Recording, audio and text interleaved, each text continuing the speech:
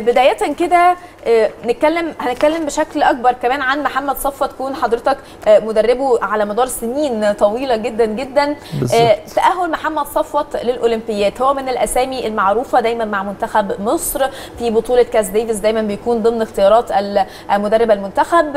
محمد صفوت وإمكانياته وإلى أي مدى خطوة مهمة جدا يكون موجود في الأولمبيكس؟ آه، مبدئيا آه، ده أول تأهل للاعبين مصريين آه، للأولمبياد. إحنا ال- التنس آه، دخل في الألعاب الأولمبية في الثمانينات. آه، لم يكن لنا الحظ إن إحنا أو أو المستوى اللي نتأهل بيه للأولمبيكس إلا في طوكيو 2020 فدي طبعا ده إنجاز و و و وتقدم لمستوى اللعبة في مصر. آه، صفوت تأهل إزاي؟ تأهل من خلال ال- ال- بطولة الألعاب الأفريقية. أوكي. كانت هي ال- المؤهلة لصفوت والميار. اللي هي في المغرب. اللي هي في المغرب. آه. وحققوا حققوا التأهل آه، الحقيقة بامتياز. يعني آه، في في خلال البطولة ما حدش فيهم خسر مجموعة.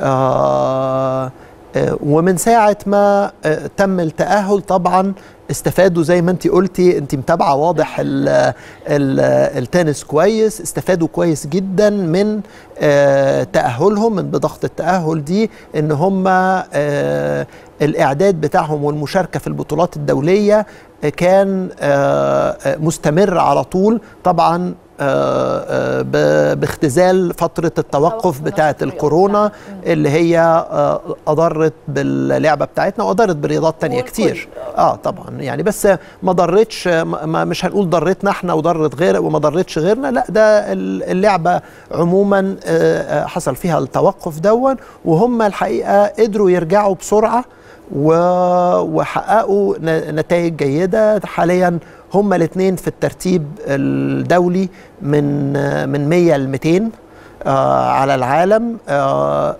آه، ده يمكن يمكن في الشكل العام كده نقول ده ده متأخر قوي ده بعيد قوي بس آه، آه، آه، لما نقول إن صفوت بقاله آه، قرب الخمس سنين آه، بيكافح وبيلعب في الجراند سلامز وبيكافح علشان يؤهل لل- للأولمبيكس. فدي دي فترة طويلة بالنسبة للاعب التنس. ميار نفس الحكاية ميار بدأت الاحتراف بتاعها آه، في في الثلاث سنين اللي فاتت إنها توصل وتقرب من المية الأوائل. دي حاجة جميلة وهي by the way النهارده عندها أول مرة توصل semi final في بطولة 250 ألف. آه، هل ال Olympics اديتها دفعة؟ أكيد. أكيد ال- الإعداد لل Olympics ووجودها في في في طوكيو لو تحقيقها الإنجازات في البطولات ال Grand Slams ده حاجة يعني طبعا كان طبعا تخش تخش آه. main draw في بطولة زي آه، majors آه. إيه ده طبعا آه. إيه تاني فدي خطوات عظيمة جدا جدا بتعملها وبتسطر تاريخ الصراحة باسمها ميار